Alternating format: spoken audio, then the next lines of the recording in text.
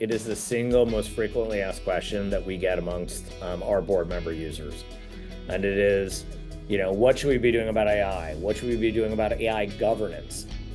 You cannot deliver the maximum results for your shareholders without considering all of the other stakeholders that are in your constituency. Um, I think your board should be composed of people who either look like the composition of your employee base or the composition of your customers. AI to cyber to board governance. And um, uh, no, I enjoyed the dialogue, thought it was very thorough. Um, thanks so much, mm-hmm. Boris. Hello, ladies and gentlemen, and welcome to our interview with Brian Stafford. Brian is the president and CEO of Diligent, which is the GRC SaaS company providing solutions across governance, risk, and compliance for more than uh, 1 million users and 700K board members. Both from his, his experience uh, leading a GRC company and as a CEO himself, Brian understands the mounting pressure executives uh, and boards face in today's shifting uh, regulation and social media heavy landscape. So, Brian, welcome to our Risk Management Show podcast today. Thank you for having me, Boris. I'm excited to be here. Absolutely. Me, we are excited as well. So we spoke with, with some of your colleagues uh, before. Uh, for example, we spoke with Liam Healy a few hundred episodes before uh, about ESG and, uh, and governance and evolution of legal uh, operations in cyber. But today I will, I will, we will speak with you on the topic of um, inside governance, navigating boardroom, uh, and the hot topics. Uh, so uh, I think we will have some good stuff. But before that, could you please share your story about your career path, what brought you to where you are right now, and what what you guys are Diligent up to this day? Sure. Thanks, Boris. Um, so I'll do my career arc in a very quick snippet. Um, after university, I started a company um, company grew rapidly, um, but it happened around the time period of the dot-com boom and crash. And so as the dot-com crashed, so did my startup. Um, I then went back to graduate school, and then I spent a decade of my time at McKinsey and Company, um, the management consulting firm, because my startup wasn't uh, as successful as I aspired it to be. Uh, I figured I'd learn how big companies were successful. And after doing that, being at McKinsey and becoming a partner there, um, and being there for a little over 10 years, I had the unique opportunity to join Diligent and become Diligent's um, CEO.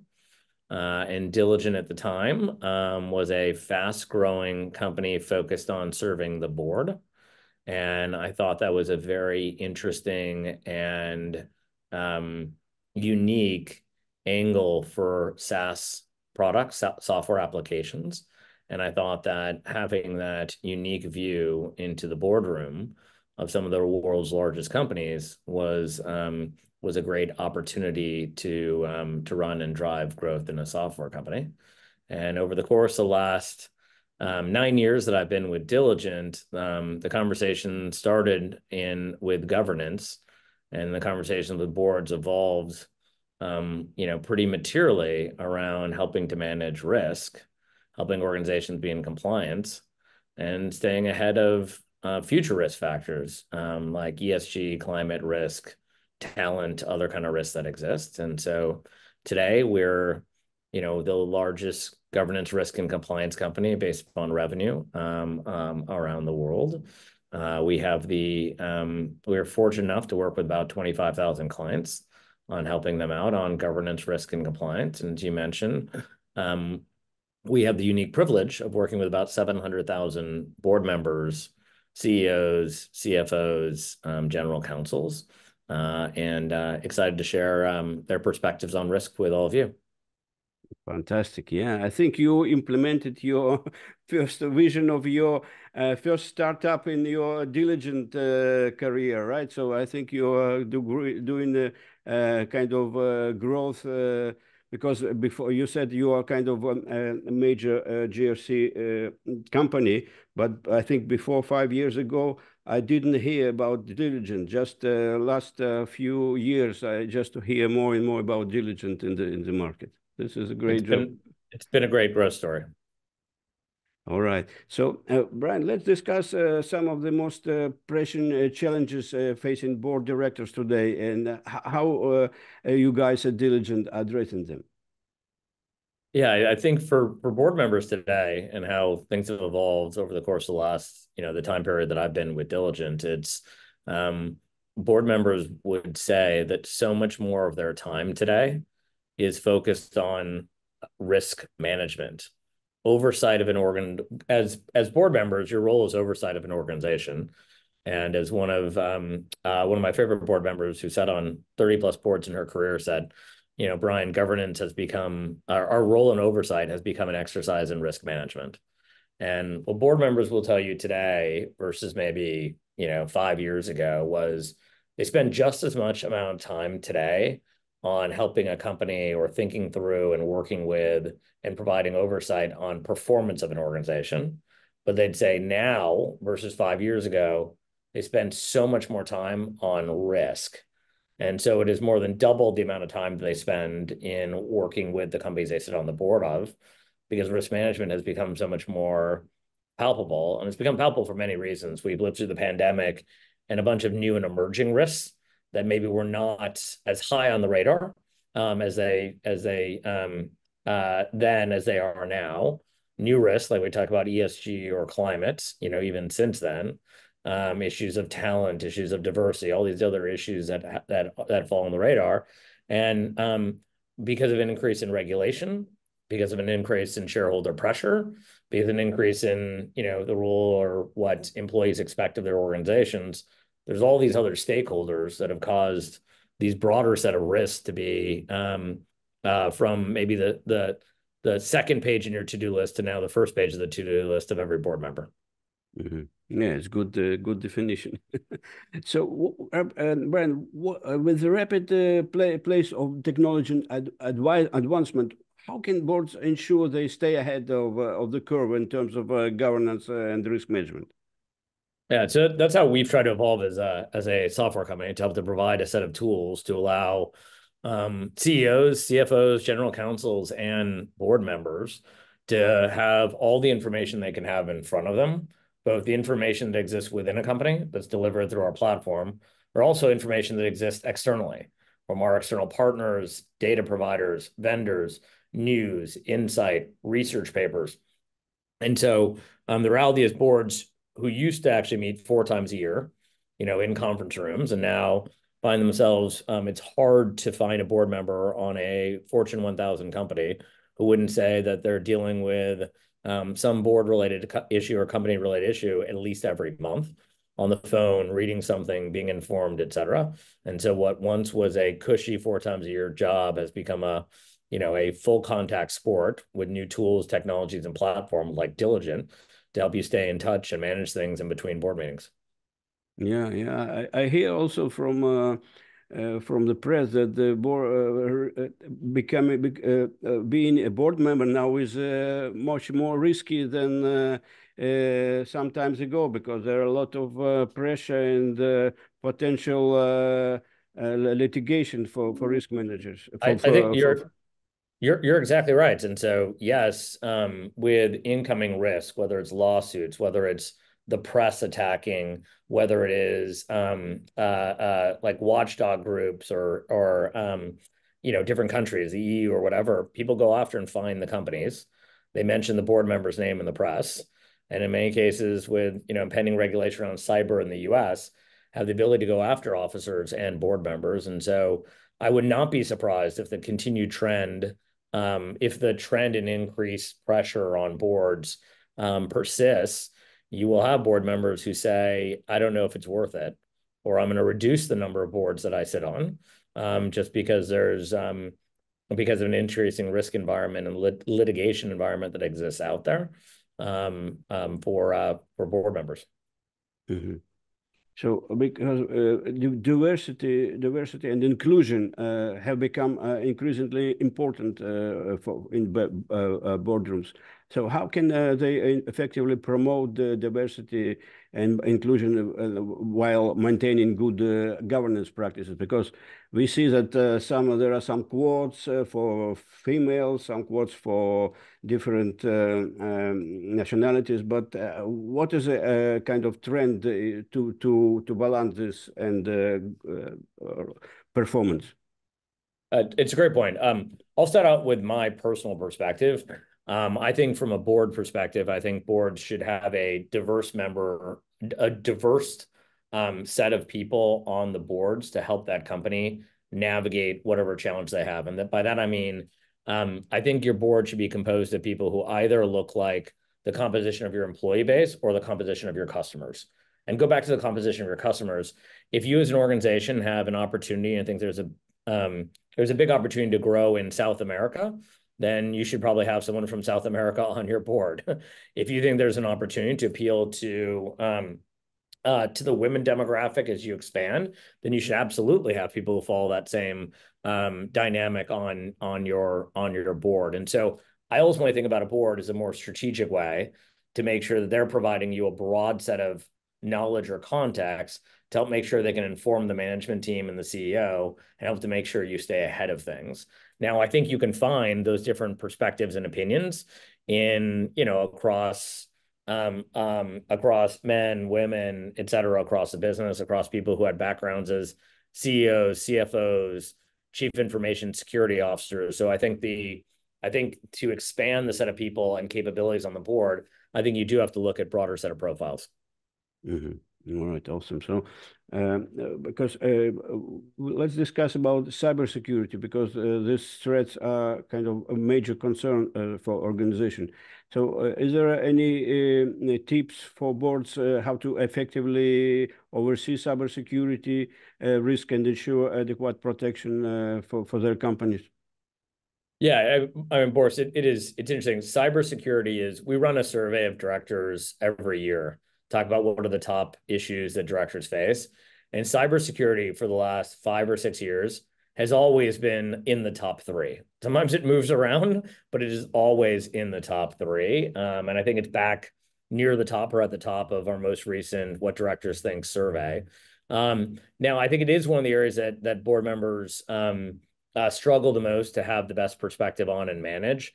I think many board members are less cyber aware um, and some boards have less technology savvy board members. And so um, we would say that you need to up the bar for knowledge on your board, of at very least technology, um, and hopefully with some background in overseeing cybersecurity. That's an important baseline.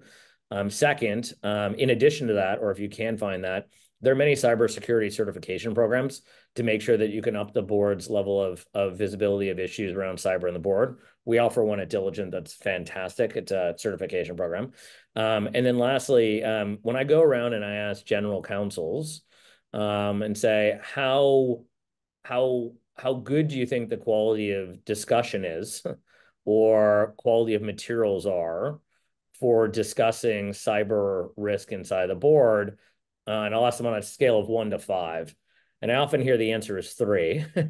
so kind of in the middle of the road. And when you push people, maybe it's closer to two. And so what we've tried to do at Diligent is we've created a best practice framework for how to how to do cybersecurity presentations and talk about cybersecurity for the CISO to the board to help make sure that we can uplevel that dialogue and that conversation. Because the reality is when you ask most board members after the CISO comes in and presents, do you feel better or worse after that presentation? The answer I get most often is I don't know. And we'd love to make sure we can help to up level that conversation, that discourse. Mm-hmm. Is there any uh, kind of um, silver line uh, with regards to balance uh, between uh, uh, uh, interest of various stake stakeholders while fulfilling their fiduciary duties for to shareholders? I think most companies try to get that right balance. Um, uh, to answer your question, Boris, between making sure that you're driving the right impact to shareholders. I think what um, uh, my point of view on it is, if you have the longest time, if you have an appropriately long time horizon, you cannot deliver the maximum results for your shareholders without considering all of the other stakeholders that are in your constituency. So you can't deliver profitability over a 10-year period of time if you're not taking care of and addressing the thriving communities with which you operate. You can't drive profitability over a 10-year period of time if you're running afoul with regulators. And I think all those things, if you have the right long-term mindset, I think all those things align um, uh, to be able to to um, have the right level of of discourse and collaboration with your with your stakeholders. I think where those things can come into conflict is if you're only focused on driving profit for this year or this quarter, then you make trade-offs that maybe are short-term in nature and don't appropriately create the right environment to thrive long term. And so if you can get the right alignment around that time horizon for success being long enough, I think all these things actually work together. Mm-hmm. Fantastic. Uh, looking towards the future, what trends or developments do you anticipate in terms of uh, Uh, maybe AI regulations uh, can work for boards? I don't know, but what do you see as uh, trends in in your space? Well, I'll give you two. Um, I will build on your point, Boris, around AI. It is the single most frequently asked question that we get amongst um, our board member users. And it is, you know, what should we be doing about AI? What should we be doing about AI governance? Like, how should we be able to think about it? AI is, you know, phenomenal opportunity, but also carries threats along with it. I think it has a huge potential to transform the productivity of our organizations and and transform in a positive way the world that we operate in. Um, but it also comes with risk around how is it deployed in the right way? Is there um, privacy? Is there piracy? Is it create new cyber attacks? And so all those things are, you know, have to be mitigated. So that's that's, I think AI is, I think you're spot on. The second broader trend is just all around risk and risk management. And I think most organizations with all the risks that we faced over the last few years, and like AI came up as a newer risk over the course of the last couple of years, how do you actually create the right framework to look at and manage all of these risks across your organization?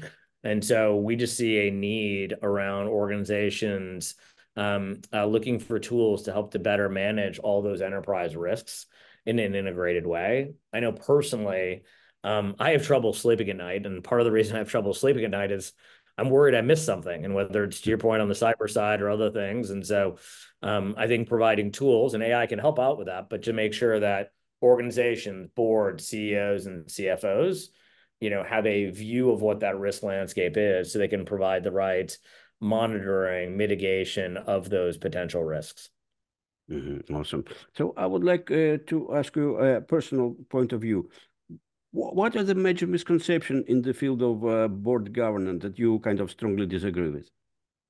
Major misconceptions around board governance. Um, uh, one of the most frequently heard, uh, and this comes from all set of people, is I'll be in a room and someone will say, well, I was at um, a security conference um, a little bit of time ago, and someone raised the question that, well, what if the board doesn't approve the security budget? And I said, look, just to be really clear, the the board doesn't the board doesn't make decisions on security budget per se. Management presents, the CEO presents what he or she believes should happen, and the board asks questions. And management decides what the plan forward is. Um, the board gets to decide whether that CEO stays CEO or not. And that is the way governance ultimately ends up existing. But um, most boards would not consider themselves as making decisions. Um, uh, that is the job of management. They will ask questions, they will challenge, they will push, they will provide the right level of governance and oversight. But I think the question around what does what decisions does the board make? Primary decision the board makes is what to do with people like me, the CEO. Uh, and if uh, the board does not feel like the organization is heading in the right direction, that's how they make the change and that's how they um, um, they impact things. So I think it's a question around management versus board and how decisions get made. Yeah, it's good because uh, some people kind of do do don't understand what does board, what does management, and what does CEO. So this is a good answer. So all right, uh, Brian, uh, just to summarize uh, for for someone who is listening to this episode, would like to walk away with one or two major takeaways. What would that be? My major takeaway would be um, the risk landscape is changing and evolving rapidly. and organizations need to have the right tools and processes to make sure that they can create the right risk management framework from the practitioner to the C-suite to the board. Uh, ultimately, our view on a diligent is governance exists by creating that right framework and allowing the right flow of information to exist so you can ask the right questions and management can move forward. Um, and the second thing I would say is, is um, you know, we do operate in a really evolving world of governance. And, you know, there are proactive tools, information, and context that can help um, you as leaders, but also your boards help to better manage all these concepts. All right. So uh, uh, fantastic. These were all my questions, uh, Brian. And perhaps if I forgot uh, to ask you something that uh, you feel important for our audience, uh, please go ahead. no, I thought it was a great discussion. Um, really loved the dialogue and the back and forth. Um, you know, I think there are a lot of really interesting topics that you covered from AI to cyber to board governance. And um, no, I enjoyed the dialogue. Thought it was very thorough. Um, thanks so much. Boris. Yeah, you are you are welcome, Brian. And I wish uh, we will have more people from uh, Diligent in our community. And uh, I hope we will further cooperate with you guys. thank you again. I look forward to it. Thanks, Boris. And I enjoyed the discussion. Thank you.